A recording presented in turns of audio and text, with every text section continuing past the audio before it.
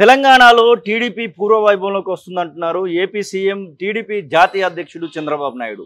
ఖచ్చితంగా కార్యకర్తలు మా వెంటే ఉన్నారంటున్నటువంటి సంభాషణ అయితే తెలంగాణకు సంబంధించినటువంటి విషయంలో అతను మాట్లాడుతున్నటువంటి సందర్భం. ఎన్టీఆర్ భవన్లో తను చేసినటువంటి వ్యాఖ్యలు అయితే ఇక టీడీపీ ఇక్కడ ఉన్నటువంటి నేతల్లో జోష్ అయితే నింపినట్టుగా నింపినట్టుగానే అనిపిస్తూ ఉంది. మనతో పాటుగా జాతీయ అధికార ప్రతినిధి ప్రొఫెసర్ తిరునగరి జోష్న ఉన్నారు. మేడం నమస్తే. నమస్తే ఏంటి అసలు ఏపీలో అధికారంలోకి వచ్చిన వెంటనే బాబు అలాగే ఇక్కడ ఉన్నటువంటి కార్యకర్తలు లీడర్ల మొహంలో కళ వచ్చింది అనుకోవచ్చా? సి డెఫినెట్గా ఇప్పుడు మా పార్టీ అక్కడ అధికారంలో ఉన్నప్పుడు ఖచ్చితంగా అందరం సంతోషిస్తాం అధికారంలోకి రాగానే. అట్లానే ఆంధ్రప్రదేశ్ కూడా ఎట్ ది ఎర్లియస్ట్ మంచిగా డెవలప్ అవ్వాలని చెప్పి మేము కోరుకుంటా ఉన్నాము. అక్కడ ఉన్నటువంటి మొత్తం ఎంటైర్ టీంకి మేము కంగ్రాచులేషన్స్ చెప్తా ఉన్నాము. దాంతో పాటుగా తెలంగాణలో కూడా తెలుగుదేశం పార్టీ బలపడుతుంది. తెలంగాణలో కూడా తెలుగుదేశం పార్టీ ఒక తిరుగులేనటువంటి శక్తిగా ఆవిర్భవించబోతోంది అనడంలో కూడా ఏం డౌట్ లేదు. ఇంకొకటి ఉమ్మడి ఆంధ్రప్రదేశ్ నుంచి తీసుకున్నా సరే తెలుగుదేశం పార్టీకి ఎప్పుడూ కూడా ఒక బలమైనటువంటి ఒక ఒక స్ట్రెంథనింగ్ సిస్టమ్గా ఉన్నటువంటి ఏరియా తెలంగాణ ప్రాంతం. మీరు. గమనిస్తే ఉత్తర తెలంగాణ నుంచి తీసుకుంటే కూడా ఈ తెలంగాణ ప్రాంతం అంతా కూడా ఎప్పుడూ ఒక ఒక కంచు కోటలాగా ఉన్నటువంటి పరిస్థితి తెలుగుదేశం పార్టీకి. సో అలాంటి పరిస్థితుల్లో ఒక ప్రాంతానికి సంబంధించినటువంటి సెంటిమెంట్ని తీసుకొచ్చి ఆ రోజున కొంత మా మీద విద్వేషం రగల్చేటువంటి ప్రయత్నం అయితే చేస్తున్నారు. అది కూడా కాదని మనం అనలేము. మా టీఆర్ఎస్ వాళ్ళు వాళ్ళ పబ్బం గడుపుకోవడానికి మాత్రమే తెలుగుదేశం పార్టీని టార్గెట్ చేశారు చంద్రబాబు నాయుడు గారిని టార్గెట్ చేశారు. ఎందుకనంటే ఉమ్మడి ఆంధ్రప్రదేశ్లో కనుక మనం తీసుకుంటే ప్రతి పార్టీలో ఇప్పుడు తెలుగుదేశం తీసుకున్నా లేకపోతే బీజేపీ తీసుకున్నా కాంగ్రెస్ తీసుకున్నా ప్రతి పార్టీలో కూడా తెలుగుదేశం అంటే తెలంగాణకు సంబంధించినటువంటి నాయకులు ఉంటుండే ఆంధ్రప్రదేశ్కి సంబంధించినటువంటి నాయకులు ఉంటుండే. బట్ తెలంగాణ ప్రాంతానికి సంబంధించి మాత్రం తెలుగుదేశం పార్టీ క్లియర్గా ఒక లేఖ ఇచ్చింది. ప్రాంతాన్ని ప్రా అంటే తెలుగు తెలంగాణ రాష్ట్రం ఏర్పాటుకై ఒక లేఖ ఇచ్చింది మేమే మొట్టమొదటిసారిగా. అట్లనే దానికి సంబంధించినటువంటి విధి విధానాలు కూడా మీరు కరెక్ట్గా రూపకల్పన చేయండి అని చెప్పింది మేమే తెలుగుదేశం పార్టీ తరఫు నుంచి. ఆ రోజున కూడా చంద్రబాబు నాయుడు గారు ఏమన్నారు? మీరు గనక రాష్ట్రాన్ని విభజిస్తుంటే ఇరు రాష్ట్రాలకి కూడా మంచి జరిగేటువంటి ఒక పరిస్థితి చూడండి. ఏ రాష్ట్రం కూడా నష్టపోకుండా చూడండి. విభజన అనేటువంటి శాస్త్రీయంగా ఉండాలి అనేటువంటి మాటలు మాట్లాడారు. దాన్ని కూడా వీళ్ళు రెండు కాల సిద్ధాంతం ఇదంతా అన్నారు. బట్ ఎట్ అగైన్ ఇవాళ కనుక తీసుకుంటే తెలంగాణ ప్రాంతంలో అత్యధికంగా అభివృద్ధి చేసినటువంటి పార్టీ ఏదన్నా ఉందంటే తెలుగుదేశం పార్టీ. మీరు ఎక్కడికి పోయినా మేము పెట్టిన శిలాఫలకాలే కనిపిస్తాయి మేము చేసినటువంటి అభివృద్ధి కనిపిస్తుంది. సో డెఫినెట్గా ఇవాళ రోజున మళ్ళా తెలంగాణ ప్రాంతంలో మేము ఒక అంటే ఒక ప్రజాహితమైనటువంటి పోరాటంతో ముందరికి వెళ్తామని అయితే చెప్తాం ఎస్ కార్యకర్తలు మా వెంటే ఉన్నారనేటువంటి మాట బాబు నోట్ల నుంచి వస్తున్నటువంటి సందర్భం. నిజంగానే అట్లాంటి పరిస్థితి కార్యకర్తలు గ్రామాలలో గ్రామ స్థాయి నుంచి కార్యకర్తలు ఉన్నటువంటి పార్టీ టీడీపీ కనబడతా ఉందా అట్లా? అది ఒక జర్నలిస్ట్గా మీరు నాకు తెలిసి చాలా గ్రామాలకు వెళ్ళుంటారు శ్రీను. ప్రతి చోట కూడా మీరు తెలుగుదేశం పార్టీ గద్ద కనపడుతుంది తెలుగుదేశం పార్టీ జెండా కనపడుతుంది తెలుగుదేశం పార్టీ కండువా వేసుకున్నటువంటి తెలుగుదేశం పార్టీ కరడు కట్టినటువంటి కార్యకర్తలు కనపడతారు. ఇవాళ మొదటిసారి కాదు నాకు తెలిసి ఖమ్మంలో సభ పెట్టినప్పుడు కూడా ఒక Hmm. ఎంపీ లేకపోయినా ఎమ్మెల్యే లేకపోయినా ఎమ్మెల్సీ లేకపోయినా ఆఖరికి చాలా సందర్భాల్లో మేము ఇది చాలా సందర్భాల్లో చెప్పినా కూడా ఒక జెడ్పీటీసీ ఎంపీటీసీ కూడా లేకపోయినా సరే బ్రహ్మాండంగా లక్షల సంఖ్యలో కార్యకర్తలు వచ్చి విజయవంతం చేసింది మా సభలను. ఆ రోజైనా నిన్న ఇక్కడ ఎన్టీఆర్ భవన్లో జరిగినటువంటి సభను మనం తీసుకున్నాం అలానే మన ఏమంటారు ఎగ్జిబిషన్ గ్రౌండ్స్లో పెట్టినటువంటి ఆవిర్భావ సభ తీసుకున్నాం సార్. సో డెఫినెట్గా కార్యకర్తల బేస్ బలంగా ఉన్నటువంటి పార్టీ తెలుగుదేశం పార్టీ. నాయకులు వస్తుంటారు నాయకులు పోతుంటారు. దాంతో పెద్ద ఫరక్ ఏం పడదు ఆనెస్ట్గా కూడా. ఇరవై సంవత్సరాలుగా మేము తెలంగాణ ప్రాంతంలో మేము అధికారంలో లేం. ఇప్పటికీ కూడా నాయకుడు వస్తున్నాడు అని అంటే మొన్న మీరు చూసిండు చంద్రబాబు నాయుడు గారు హైదరాబాద్ వస్తున్నారు ముఖ్యమంత్రిగా. ప్రమాణ స్వీకారం చేసిన తర్వాత అని అంటే బేగంపేట నుంచి జూబ్లీ హిల్స్ వరకు ఏ విధమైనటువంటి వెల్కమ్ చెప్పారో చూసాం మనం.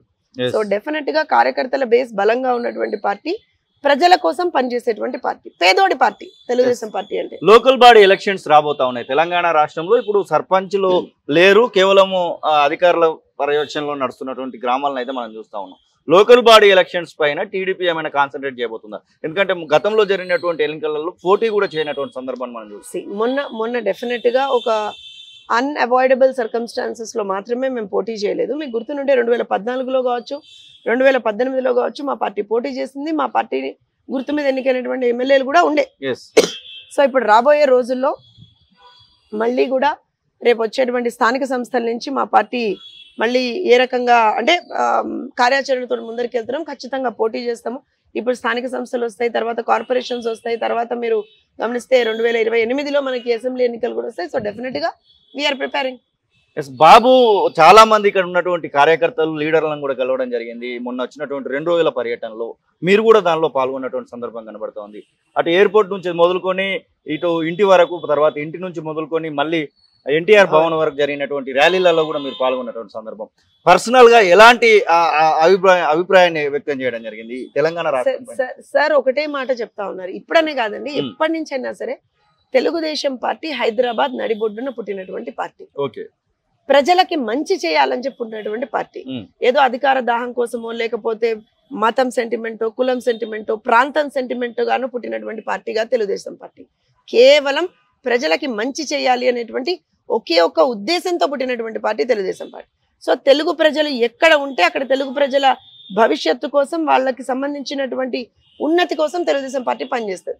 సో ఇవాళ ఇక్కడ తెలంగాణ ప్రాంతంలో కూడా మేము ఖచ్చితంగా ప్రజాహితమైనటువంటి ఒక పోరాటాలు చేయడంలో మేము మీరు గత పది సంవత్సరాల్లో కూడా మీరే విట్నెస్ ఒక జర్నలిస్ట్గా.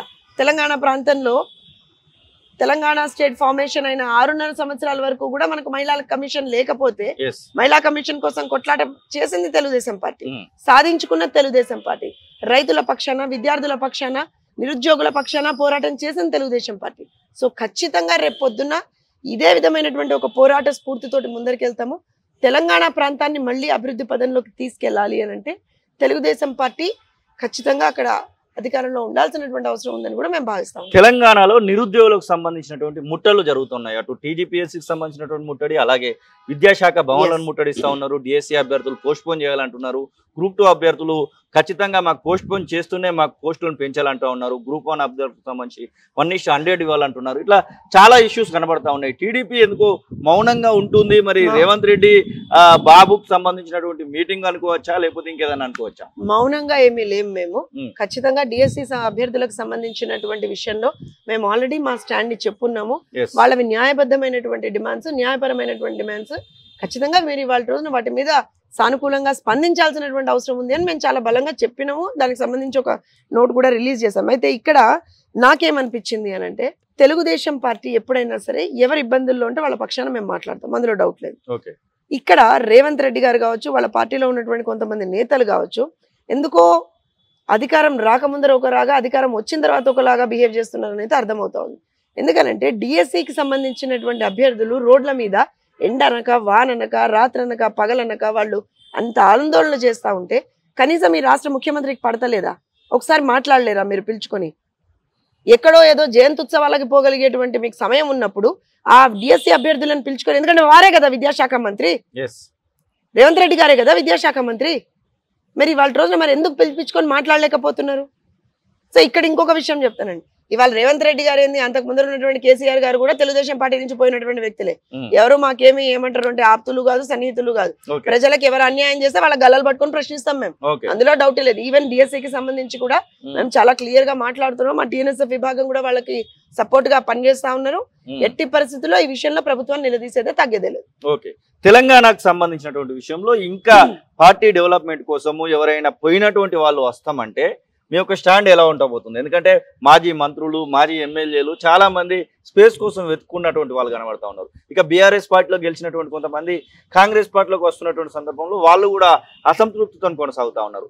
అట్లాంటి వాళ్ళు వస్తామంటే టీడీపీ ఎలా పోతుంది? ఎవరైనా సరే ప్రజల కోసం మేము పని చేస్తాము అనేటువంటి ఒక సిద్ధాంతం ఉన్న వాళ్ళైతే ఖచ్చితంగా మా పార్టీలోకి వెల్కమ్. ఓకే.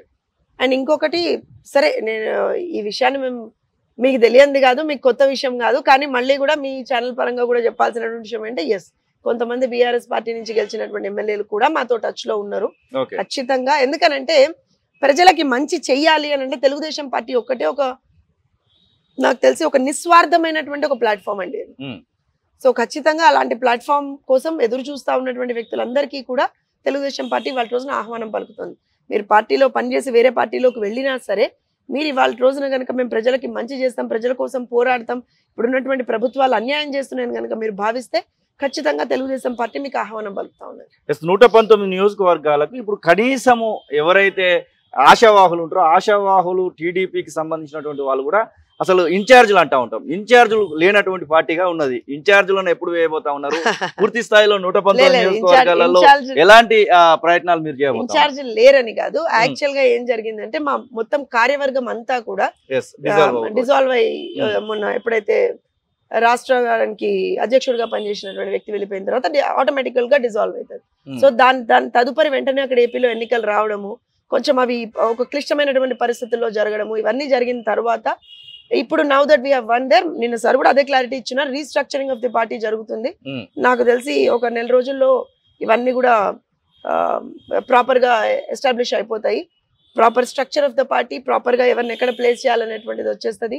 ఒక నూతన కార్యవర్గంతో నూతన ఉత్సాహంతో మేము మళ్ళా ప్రజల ముందరికి రాబోతున్నాం. ఎన్ని ఎన్ని బహిరంగ సభలు చూడబోతా ఉన్నాం తెలంగాణ రాష్ట్రంలో టీడీపీకి సంబంధించి. ఎందుకంటే అటు ఏపీలో అధికారంలోకి వచ్చారు మీకు ఖచ్చితంగా ఫుల్ పవర్ అయితే ఉంటా ఉంటది. తెలంగాణలో ఇక్కడ ఖచ్చితంగా పాగా వేయాలనేటువంటి ఆలోచన మీకు కూడా కనబడతా ఉంటది. ఎన్ని ఎన్ని రకాలుగా మీ యొక్క ప్రయత్నాలు ఉండబోతా ఉన్నాయి? ఏపీ ముఖ్యమంత్రిని ఇక్కడికి ఎన్నిసార్లు పిలిపించబోతా ఉన్నాయి ఇక్కడ మీరు అన్నటువంటి ప్రశ్న ఎన్ని చూడబోతున్నారు ఏంటిది అని అంటే ఎక్కడికి పోయేటువంటి ప్రసక్తి లేదు ఇక్కడనే ఉంటాం.